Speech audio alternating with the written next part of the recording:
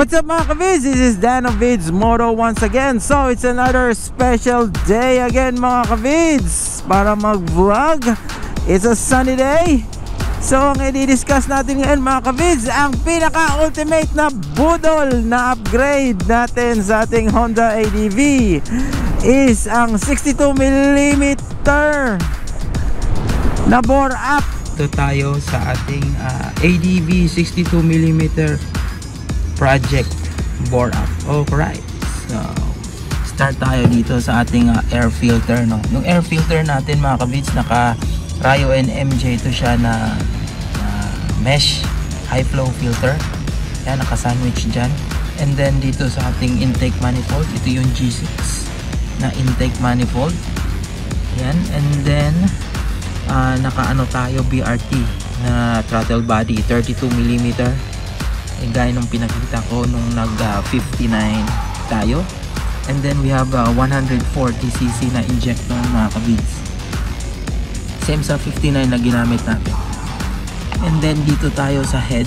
Ang head natin mga kabids same pa rin dun sa setup natin sa 59 which is stock na cams and then stock na bulbs na valves. And then yung pinalitan natin dito sa head is uh, yung kanyang valve spring na 5 turns MTRT and then sa spark plug natin dito mga kabits NGK iridium.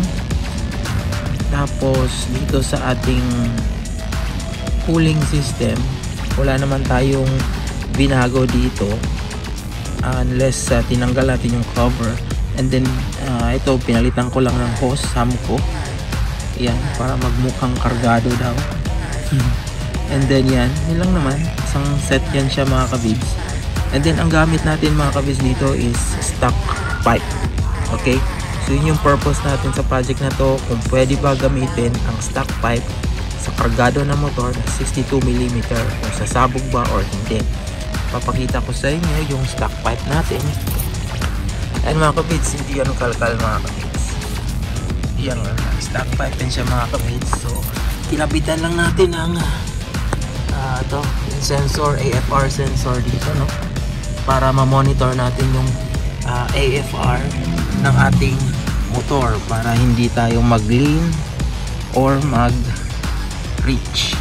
Alright, so dito mga kabits sa radiator since 62mm na to siya mga kabits, mabilis talaga siyang uminit lalo na sa traffic. So, tinanggalan ko siya ng cover yung cover niya yung stock cover so pinalitan natin ng ano parang protector lang niya mga kabits para hindi masira yung radiator fins just in case matalsi ka ng bato. Yan mabilis na pumasok yung hangin niya mga kabits. Tapos naka big fan na tayo mga kabits no, para um, malakas yung higop ng hangin dito sa ating radiator. Yan. so mabilis naman yung cooling effect niya. Uh, temperature niya is stable naman nasa 87, 86 yan, yan yung ideal temperature na dapat nating i-achieve. Alright, yan mga kabis wala naman tayong binago na super major except sa mga sinabi ko mga kabis so approve tong uh, bore up na to. Um, nakaano na tayo 400 kilometers. Mga kabits walang sabog, walang overheat. Okay so garage power. So ibibigay ko yung link below sa description mga kabids para mapuntahan nyo si garage power. Alright. So ititest pa natin to ipapadyno and then yun yung final tuning na. Alright. So i i-experience natin ngayon mga kabids kung meron bang sabog overheat sa ating uh, bore up na to okay yan nga pala mga kabis yung bore up na to is made by garage power. Napakahusay. Napakahusay na mag bore up tong mga taong to mga kabis no? Believe na believe ako mga kabis kasi nasa ano na tayo no? 450 kilometers na mga kabids ang ating uh, na travel using this bore up.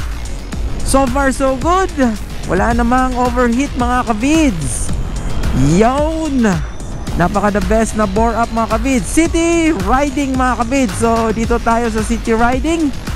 Ah, so far, ang ah, temperature natin sa ating engine ah, naglalaro ng 86 to 91, 92 degrees. Pag naka ano ka mga kabids no, naka nasa traffic, hindi ka umaandar, naka-idle ka, yung ah, temperature natin sa ating engine is umaabot ng ah, 90.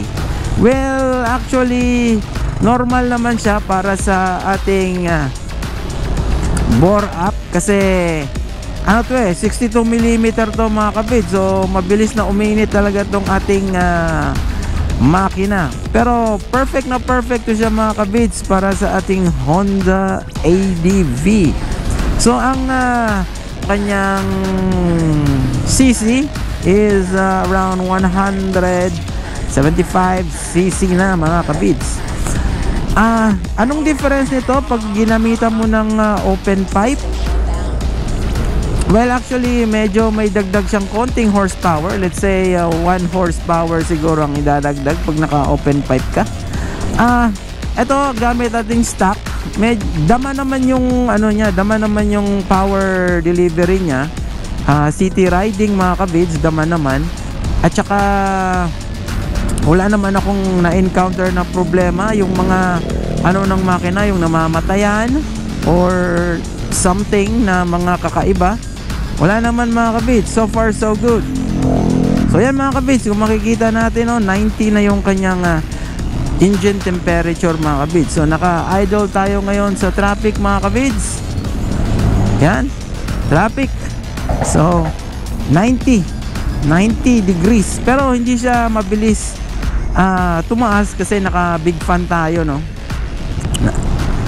So eh, an paandar nyo lang motor nyo re-rev nyo ah, bababa na yung ah, kanyang ah, temperature mga kabids okay? So yan. 91 yeah stable naman yung kanyang ano no kanyang ah, RPM kasi ang gamit natin na cams is yung ah, stock cams ng Honda ADV Ah, as per sa ating mekaniko, maganda daw gamitin yung ah, stock cams lang kasi mas mataas yung kanyang ah, lift, lift ng cams. So, mas maraming hangin at saka mas marami din siyang hangin na i-exhaust. Alright. So, tara. Ah, ride ulit tayo, no? Let's ride again. Let's ride again.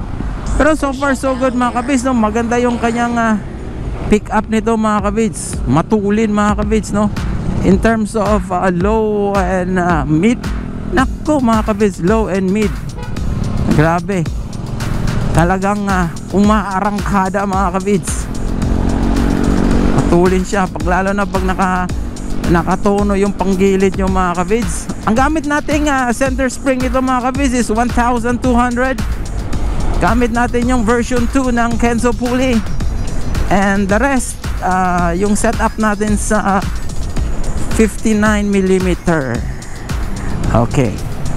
Wala naman tayong binago. Injector same pa rin.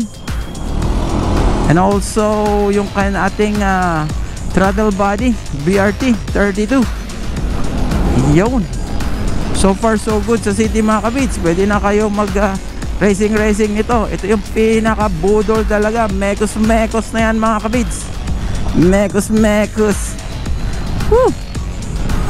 Grabe. Sa ahonan mga kabids. Nako.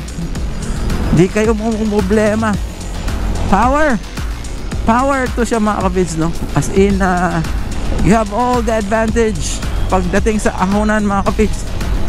Walang problema yan, no? Oh. Mekos-mekos na yan. Napakalakas mga kabids. Hindi ko na-test yung horsepower nito. Hindi pa natin napadahino to. Pero so far so good, maganda. Yung target AFR natin sa ating uh, eraser na ECU mga kabids is uh, 12.7. Yes. 12.7 all the way. Yan. Tama lang. Tamang tama. So yung power nito mga kabids no, parang equivalent ng KRB 180. Ganun siya kalakas pero may difference ng konti. Mas malakas na siya humata kasi naka racing ECU tayo no. built for performance yung ating setup yun no pwede na so next natin sa part 2 ng ating vlog mga kabids is uh, ititesting natin yung uh, ano no? Itesting natin to sa long ride. Kung makasurvive ba tong uh, 62mm ng gawa ng garage power.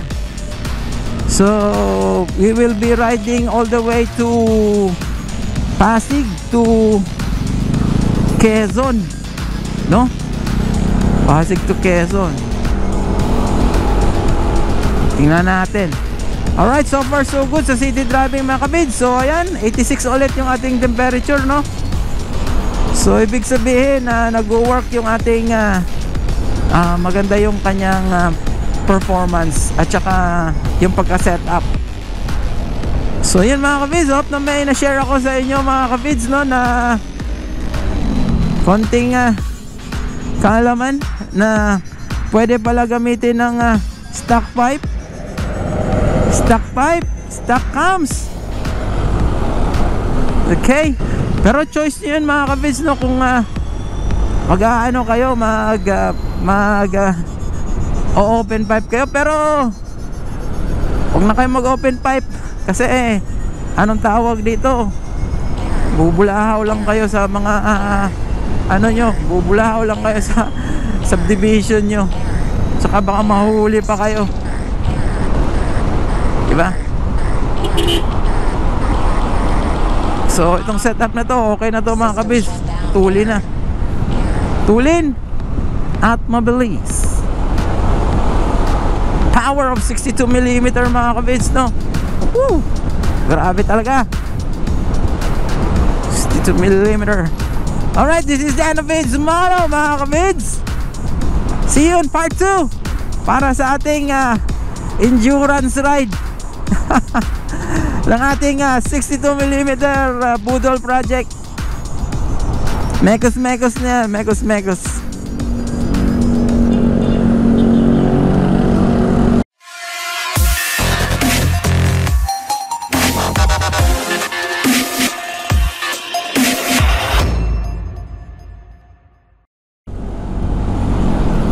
EDSA. Ay 60 kph lang pala dito bakit ang tutulin nila? Wait! Wait! Antayin nyo ako mga katropa! Mga kapids antayin nyo ako! Antayin nyo ako